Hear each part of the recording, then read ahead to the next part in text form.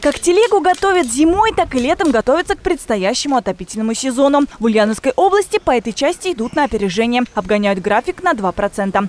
На сегодняшний момент мы перевалили уже половину, так называемые 50% готовности. И а, до 31 августа то есть мы должны четко уже понимать, что у нас готовы все сети, источники, а, потребители тепловой энергии к отопительному сезону. Особое внимание в этом году уделяется модернизации теплосетей. К примеру, в Вишкаемском районе заменили уже один километр коммуникаций. По поручению Сергея Ивановича Морозова, губернатора, то есть э, сейчас мы делаем упор вот именно на сетях, потому что а, основная проблема остается все-таки в транспортировке тепловой энергии, и чем, естественно, мы меньше потеряем, тем больше мы э, экономического эффекта мы достигнем.